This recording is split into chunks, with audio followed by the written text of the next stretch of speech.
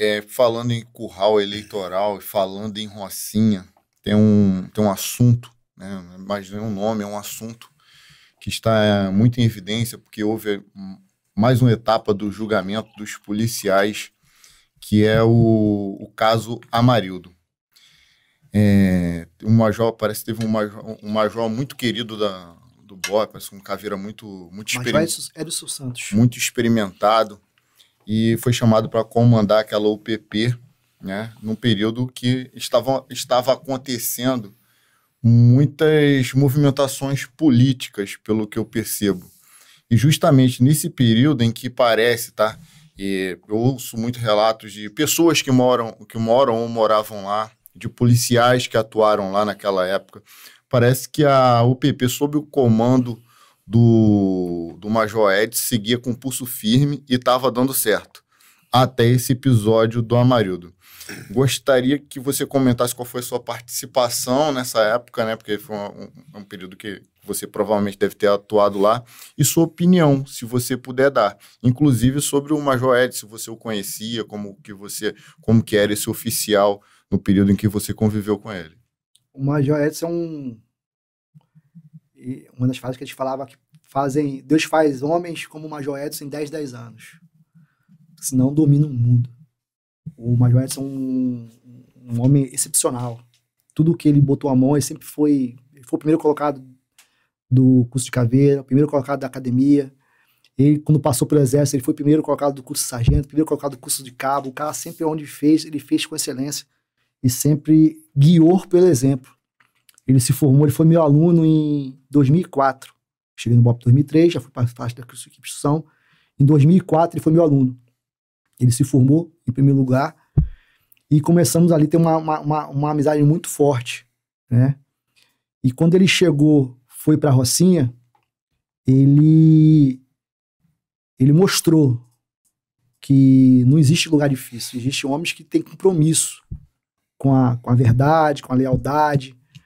Só que isso gera muitos inimigos. É, é muito é muita comédia e a beira que, que você mexe. Mas ele provou. E aí, e a, meu, meu primeiro choque foi o quê? Quando ele me chamou, a cabeça dele estava valendo 2 mil, dois milhões. A cabeça dele estava valendo. Isso, isso escuta, isso, isso documentado. A cabeça dele estava valendo 2 milhões, milhões para ele, ele matarem ele. O tráfico, o tráfico, o tráfico pagava 2 milhões pela cabeça do Major Edson. Pela cabeça do Major Edson. E se tem alguém por trás do tráfico, que eu creio que tenha, sempre tem, né? É, só que isso não veio à tona. A gente não sabe. Mas eu, na minha particularidade, eu creio que sim. 2 milhões. E aí, por causa disso, ele conseguiu uma segurança. Através de pedidos, documento, de ofício, ele conseguiu. E ele pediu a, a, a minha pessoa e mais, mais quatro, três policiais. Então, ficaram dois policiais do BOP à, à disposição dele. De fuzil, de viatura. A gente levava ele, trazia ele para casa, né? Para poder fazer a segurança dele. E só que no primeiro dia que eu me apresentei na Rocinha, aí ficou, tomei logo um choque. E quando ele me ligou, passa, ah, publicou, tu vai estar comigo tal, beleza. Eu parei lá embaixo. Cara, a Rocinha teve esse episódio do Lulu. Meses atrás, morreu o Rosifran na escadaria ali perto do, do, do, do 99. Soldado nosso, amigo meu, morava em Campo Grande. Ele veio a morrer, bala, mesma coisa, bala voando, o cara morreu, a socorreu, perdeu uma vida do cara. Então era um lugar que tinha algo pessoal, né? Eu já sabia, eu via ali uma agressividade que tinha aquela favela, o tanto de poderio bélico, que aí a gente fala aí para um, um, cidadão comum que tem favelas ali, tem favelas no Rio de Janeiro que tem para mais de 300 fuzis, e a, acho que a, a, a, população não acredita isso, né? Mas tem, tem favela no estado do Rio de Janeiro que tem mais de 300 fuzis, né? Só que aí ele falou para mim assim, eu, ó, oh, tô aqui embaixo. Aí ele sobe, lá pela Gávea, pela Colégio Anglo-Americano. Pode subir. Falei, como assim subir, passo, o major? Sobe, passo. Tá onde? Falei, tô, tô aqui no ângulo americano. Virou aqui, a bala já voa. Ele, não, pode subir, pô. Major, tô com meu carro, um Corolla preto, chapado nisso filme. Ele, passo, estou mandando você subir. Vem direto, pega o portão vermelho com a base aqui em cima.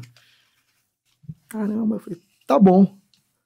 Peguei a pistola, botei aqui, fui subindo, subindo, subindo, subindo. Passei por onde. Aí quando eu passei, eu passei pelo beco do 99, quando eu passei por onde Rosifran morreu, meus olhos começaram a encher d'água. E eu olhando aquilo ali, não vi nada, não vi traficante, não vi bandido, não vi movimentação de nada. Passei pelo portão vermelho, entrei, estacionei meu carro, saí com os olhos assim. Aí ele olhou, tá chorando, cara? Aí eu falei, que isso, Major? É sério? Aí ele, o quê? Aí eu falei, cara, não tem nada. Ele falou, ele Passos, quando a gente quer, a gente faz, cara. E não sei o quê, tá começando a conversar. Tá pacificado, falei, né? Tá pacificado, cara. Droga. Claro que vem, a Europa vende, você vende, onde tem nariz querendo cheirar, onde tem boca querendo fumar, onde tem consumidor, vai ter. Mas armamento hostil, no meio da pista, trocando tiro com polícia, enfrentando o Estado, porque é isso que eles fazem, enfrentam o Estado. Poder paralelo. Poder paralelo mesmo, não entra aqui, polícia não entra. Não tinha isso, cara. Aí eu falei assim, caramba, Major. Aí fomos conversar, aí eu comecei a fazer a segurança dele, e, e indo e vindo, aí eu conheci mais ainda a intimidade no Major e tal. Mas é, é, aí começou a ter outras escutas de, de, de, de e isso foi para isso foi para o Ministério Público, isso foi, foi documentado de, cara, precisamos matar um inocente. Olha o ponto que o, o cara, o tráfico chega, né? Precisamos matar alguém, principalmente criança, vamos matar uma criança, que matando uma criança vai dar vulto e esse cara vai sair daqui. Porque aí também ele começou a mexer com tudo, com política, não queria nada que, na, nada que fosse ilegal na Rocinha ele queria. Nada que fosse ilegal. Os mototáxis tinham na época quase 3 mil mototáxis antes do Major entrar. Tinha 3 mil mototáxis, motos roubadas, motos sem pagar, moto sem documento, tudo ilegal. Cada moto dava 50 reais por dia. Eu tenho parentes dentro da Rocinha. Tenho dois, duas famílias minhas que moram lá dentro da Rocinha. Cada mototáxi aqui dá 50 reais. Você vai 50 reais vezes 3 mil por dia. Calcula aí quanto é que dá. 50 reais por dia de 3 mil pessoas. Um real dá 3 mil. dá muito dinheiro. E ele pegou, regularizou todas as mototáxis, botou mil mototáxis cadastrado, com colete, com documentação, com habilitação, e virou autonomia. Então esses caras só rodavam esse. A única reunião que eles fez foi: ó, não quero que vocês dêem dinheiro para ninguém. O dinheiro que vocês ganharam é de vocês. Os mototáxis, eu, tava, eu participei da reuniunião, vi, cara. Os mototáxis falaram assim, Major, Meses depois que eles ganharam, a Claro, a Claro deu, você lembra que tinha coisa da Claro? Eles andavam com o colete da Claro? Eles andavam com o colete da Claro. A Claro falou assim, ó, é um, um propaganda pro mundo todo, né? Uma foto da Claro saindo ali na Rocinha. A Claro ofereceu não sei quantos mil reais para ele de, de, de, de, de gratidão. Tipo assim, não, Major, obrigado. O senhor me permite eu botar os coletes? Não, permito, se eles quiserem. Aí, pô, Major, toma aqui, sagrado aqui, não sei, 30, 40, 50 mil. Ele, o quê? Não, Fala o seguinte, e toda reunião que ele fazia, ele fazia com presença de quem fosse para poder realmente ver que não tinha brecha. Legitimar, né? Legitimar. E aí ele tinha dois caras do mototáxi lá com a gente. Aí ele falou assim, ó, fala o seguinte, dá para ele e compra tudo de pneu, de, de, de, de, de corrente, de cabo de acelerador e tal. E o Major comprou, e aí eles fizeram. E aí ele foi tocando. Só que um dos policiais nossos foi cantado pelo tráfico cara dava porrada, dava porrada, era um, era um policial bom. E ele foi cantado pelo tráfico. Pô, mano, para disso, para com isso, vamos conversar, tem um negócio aqui pra te dar. E ele ficou calado. Não, não, não, não, não, não, mas comentou com o major. Nisso que ele comentou com o major, o major teve uma, uma ideia de, junto com o Ministério Público, montar uma mega operação, um agente infiltrado, não sei qual foi o nome que eles deram, deram na época, era um nome mais técnico, e colocaram lá um rapaz infiltrado, um corajosíssimo. Eu, eu talvez eu hoje com sendo já avô não tenho coragem de fazer isso, mas o cara legal, legalizado se infiltrou dentro da, da comunidade, dentro do, do, do, do, do ninho deles e com câmera, com escuta, foi montando toda a operação por meses, pegava o dinheiro dele lá de arrego lá que ele ganhava, levava para no final dois, três dias depois ele levava lá ou no mesmo dia, não sei, levava para a delegacia, apresentava, juntava com os laudos Ninguém sabia, porque senão vazava. Então só quem sabia era o Ministério Público, uma ou duas pessoas do Ministério Público, uma ou duas pessoas da delegacia e o major. E aí foi montando até que conseguiu grampear todo mundo, conseguiu montar uma mega operação e startar numa sexta-feira, né, o, o, sábado pela manhã. E foi tudo muito, muito, muito, muito lindo, batendo na porta da casa dos outros, junto com a civil, a civil que tinha o, o álbum, embora, e aí, bora, fulano de tal, fulano tal, apelido tal, chip tal, o telefone tá aí, ó. E aí, ó, chip tal. Não, nesse aqui não, quero outro. Aí procurar, procurar, baixava o chip bucha dele. Tá aqui, ó, o chip bucha. E aí aprendendo, aprendendo. Até teve que teve a fatalidade do Amarildo, que aconteceu. Eu não. É outra coisa que eu, que eu, que eu sou muito grato a Deus. O que aconteceu foi o seguinte: nós estávamos cansados demais e aquilo que você tá ali vivendo e vestindo a camisa daquela, da, da, da instituição, você não pensa no tempo, né? Então estava sexta, sábado e domingo trabalhando direto, sem ir embora, inclusive o Major. Sem ir embora. E eu também. Naquela, nas vésperas do que aconteceu com o Amarildo, à noite, né, no dia que, que aconteceu então, eu estava na viatura descansando, porque eu sabia que o Major depois ia patrulhar, ia rodar, ia cumprir outros mandatos. Eu fui descansar. Eu descansei na viatura, fiquei descansando na viatura e tal, um carro descaracterizado. Até o momento que eu liguei pro Major, Major, vou tomar, vou, já sabia que ele ia, daqui a pouco ia bater perna. Eu falei, Major, vou lá embaixo tomar um banho, dar uma cagada, perdão a palavra. Daqui a pouco eu volto. Beleza, Passo. Aí eu fui. Depois, quando eu voltei, 45 minutos depois, parece que já tinha acontecido tudo com o que aconteceu. Eu fui a hora que pegaram o marido, viram que, né, lá, se era ele, se não era, liberaram, né? E eu voltei a dormir. Falei, Major, já tô aqui já, tomei meu banho e tal. Quando eu fui depois lá na, na 15 na Barra, é, Gávea. Gávea, né? Fui lá depor, é, a delegada que me atendeu, que me tirou meu depoimento, porque eu tava no dia, né? Ela falou, não, você tá depondo aqui, a gente conhece você, o Major já levantou tudo. E as câmeras mostram que você chegou, o amarelo chegou, deu cinco minutos depois, sua viatura saiu. E voltou depois de 45 minutos. Aí pronto, aí meio que, que fechou o meu depoimento, né? Então eu não vi quem chegou, quem não vi que saiu, não vi nada. Mas eu já vejo também até como um, como um livramento, né? Porque se eu tô lá, e a gente, é tudo que vocês conhecem, tá né? pulando a fogueira com todo mundo. Quem tava lá, mesmo, pelo simples fato de tava lá, é, é, passou aí uma fogueira muito grande, né? Foram expulsos, foi um negócio. E aquilo ali foi muito triste, porque um cara que estava cotado a ser comandante geral, um cara que estava cotado a ser um grande homem para a polícia, para a sociedade, teve a vida dele arruinada por um por aquilo ali. E o Amarildo tinha envolvimento sim, os filhos dele tinham envolvimento sim, tudo isso aí que a, que a, que a reportagem, o documentário está fazendo, né, em si, é, é, pode ter mostrado alguma coisa de, de um lado ou do outro, mas não mostrou realmente a vida mal. Ele tava nos grampos, filho dele, tava tudo, cara. Mas não, não é o que queriam que mostrasse, né? E realmente 10, 15 homens ali foram a vida ceifada ali, que ninguém mais dá. Foram oito anos de cadeia, seis anos de cadeia, acabou. O marido foi aquele personagem que eles estavam querendo para sacrificar, para poder derrubar acabou. o. No caso, porque assim, o uso político do, do, do Amarido foi. É, ninguém queria mais investigar, queriam apenas condenar a PM de qualquer forma. Acabou. Então, antes de investigação, simulação, qualquer coisa que depois viesse a. Assim, eu não tive acesso aos autos, não tem nem como opinar uhum. o que aconteceu, mas foi um, um uso político tão forte uma, e, uma, e uma determinação tão grande para destruir principalmente a imagem do, do Major Edson. Era ele. Que eu Era acho ele que, e o governo. Que, é, e o governo, que, que eu acho que até outros comandantes devem ter depois né? dado uma freada cara, ali também, é. falar, porque quer saber, irmão? Isso aí, né? Não, não, vale a pena, não vale a pena eu, eu combater esse esse eu, tráfico, eu, porque eu, tem, muito, esse, tem muitos tentáculos aí ma, muito maiores do que, do que eles, né? É. E o que, que você acha? O Major Edson falou assim, uma vez que fui visitar ele, e ele falou assim, a filha dele era recém-nascida. Não, era recém-nascida. E ele ficou lá para cumprir a missão. A mulher dele veio para casa e não, meus soldados estão aqui, eu preciso, eu que organizei tudo, conheço tudo da, da operação em si, eu vou ficar, vou ficar, vou ficar. E deu. Três anos depois, a filha dele já estava falando um pouco tal e teve o aniversário. E quase todos deles foi na casa e no presídio. E a filha dele nunca viu ele lá na casa, pelo menos os cinco anos que ele ficou preso. E nenhuma dessas ele falou assim, ela falou assim, aí arrebentou e aí ele falou assim, pô, cara, minha filha falou assim, pai, eu sei porque você não tá indo no meu aniversário lá no prédio. É porque eu não mandei o convite pro senhor, né? Tadinho. Tá entendendo, meu irmão?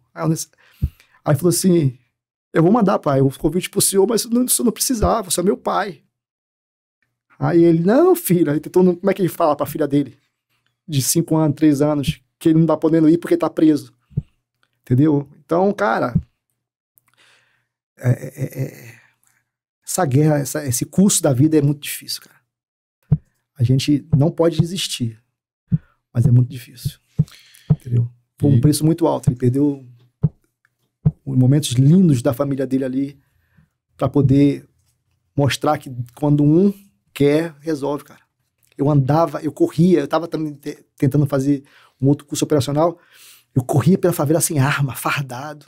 Eu ia lá embaixo na Gávea, voltava sem arma, mas com uniforme da Polícia de Educação Física, sozinho. Ó, oh, major, eu já tava lá, vou correr. Eu ia correndo num lugar que eu, para dar 10 passos, era 20 tiros. Cara resolveu. O cara resolveu a, a, a, o tráfico de droga ali. Principalmente o que se diz o confronto armado. Não tinha. Ele pegava, às vezes, ó, não quero vocês dando tiro em meus polícia. Não quero. Quer vender? Venda. Porque o próprio consumo interno da Rocinha, isso é provado, o próprio consumo interno da Rocinha já vende muito. Né? Tem uns viciados ali no redor, mas o próprio consumo interno vende muito. E ele sabia que isso não ia acabar. Mas armamento, ostentação, dando tiro em polícia, dando tiro em trabalhador, indo contra o Estado, inadmissível.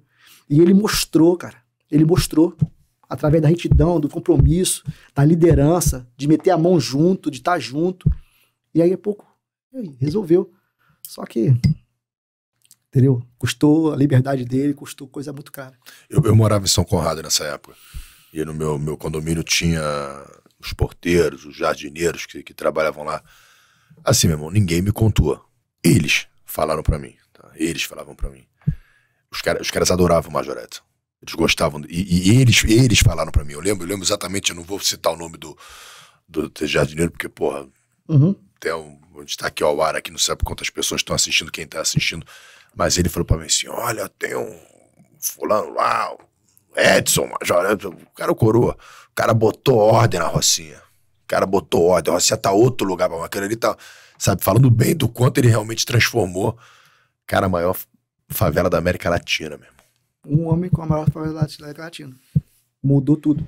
Os caras entregavam uma vez, tem uma. Parece que uma das patrulhas, patrulhando ali, viu alguém armado. Olha, eu vi. Aí ele pegou um contato, bora, viu você armado aí, tem, tem arma, devolve, entrega. Aí não, não, então peraí. Aí pá, pá, pá, pá, pá, pá, pá, sufocando, indo e tal. Aí, não, Major, para o seguinte, vamos devolver a arma. Falei, ah, você falou que não tinha? Tá em tal lugar, dá um tempinho aí. Daqui a pouco ligou para ele, tá em tal lugar assim a arma. Fomos lá, cara, a arma tava lá. Um G3, cara. Os caras devolvendo a arma assim no... Pelo, pelo entendimento de que, meu irmão, não dá para ir contra o Estado, não dá para ir quando alguém tá decidido a resolver, entendeu? E aí pegamos, aí eu até fiquei com medo assim, meu irmão, vê se não tem explosivo aí embaixo, pegar isso e explodir, lá, um G3 com munição, carregador com tudo. Aí estamos aqui. Apreendeu lá, tudo bonitinho, ó, mostrando ali, ó, tudo apreendido, entendeu? Então, é, é, é, é, é e aí, meus parentes lá, mesma coisa, ó, acabou, baile funk, cultura, não sei o quê, beleza, mas tem que ter limite. Até 5 da manhã? Até E os trabalhadores? Não, até tal hora. Tem saída de incêndio? Isso aqui virar um, alguma coisa? Não, tá beleza, vamos legalizar aqui o, esse espaço, vamos ver se esse espaço suporta, botar aí duas mil pessoas, vamos, vamos. Botou, deixou ter baile funk, mas de tal hora até tal hora, com saída de emergência, com... To... Cara, é isso. Com dignidade, como deve ser, cumprindo as leis, as normas Acabou. de segurança, tudo bombeiro interditou, daqui a pouco o bombeiro liberou e fez tudo. Todo mundo, ah, não, a gente entende que é cultural, vende o comércio, vende cerveja, vende cigarro, vende isso. Beleza, tá bom. Mas tudo dentro da legalidade. Mototáxi, beleza, tem que ter mototáxi, pô, subir aquilo ali é horrível. Mas 3 mil dando dinheiro pro tráfico, todo mundo com moto roubado, sem capacete, uma, um, um caos. Não, peraí, calma aí. Mil, legalizado, documenta, documento, habilitação, capacete, tanto para quem tá dirigindo. É o Estado fazendo, né, fazendo com é. você a ordem, a ordem, cara. Entendeu? E tudo, tipo assim, e as pessoas amando ele. E as pessoas amando ele, é isso mesmo, Major. É isso mesmo, batendo palmo. E por aí foi. Né? Mas os poderes. Ah, por muitas vezes, muitos não querem que o Estado seja isso. Eles é, querem o caos mesmo, porque o caos lucra. Entendeu? O, o, jogo do bicho lucra. Porque não, será que não seria muito mais vantagem para a sociedade, de repente, legalizar o jogo do bicho. Até, até pro Major Edson, não, seria muito mais vantagem ele deixar aquilo ali no caos, participar da sacanagem, já tá rico hoje, Pô, solto, o quê? cheio de dinheiro, aposentado. Não estaria preso, estaria rico. Não estaria preso, estaria milionário, entendeu? Não estaria preso, estaria milionário. Daí você vê a importância. Mas do... não teria o sono, o sono. Exatamente. O sono que. E o orgulho, nem o orgulho da filha dele. Não. Nem orgulho da e filha nem a admiração da tropa, né? E nem a admiração da tropa. É, eu nunca ouvi uma pessoa falar mal do Major Edson. Eu não o conheço. Né? Conheço das reportagens. Eu nunca ouvi uma pessoa sequer falar algo que desabonasse a conduta do Major Edson. Até quem trabalhou para que ele fosse condenado, é, fala que ele era um grande homem. Uhum. O Major Edson tentou, tentou não, ele brigou contra o sistema. Uhum. Eu não vivi, as únicas, as únicas fontes de informação da época eram as informações que a TV trazia. Não tinha podcast, a internet era pouco difundida. E hoje a gente tem oportunidade, não só no meu canal, isso né, não é particularidade do, do nosso canal. É, Já ouvi falar. Eu assisto outros, outros podcasts, eu não tenho essa vaidade, eu assisto outros podcasts até para ver o que, que eu posso melhorar por aqui. E já tive a oportunidade de, de ouvir vários policiais falarem sobre a Rocinha, policiais que estavam em situação parecida com a sua, que não trabalharam com a Major Edson lá, mas não estavam no dia dando sua opinião sobre o Edson, sobre alguns outros policiais que trabalhavam lá. E é impressionante, é unânime todos em dizerem que o Major Edson estava transformando a realidade da Rocinha. E foi interrompido. Então, se eu pudesse dar é, um nome a um, a um, corte específico, porque a gente tem visto. A Amarildo, Amarildo, os nomes dos cortes dos podcasts. O nome desse corte seria Major Edson, um homem de honra. Por não porque eu acho, mas por tudo que eu ouvi, tá? Inclusive de pessoas que trabalharam é, na investigação que acabou colocando ele nessa situação. Uhum. Né? Então, eu não sei se o Major Edson nos assiste, mas é, fica aqui a minha homenagem a alguém que devotou sua vida e hoje paga um preço muito caro por isso. É isso.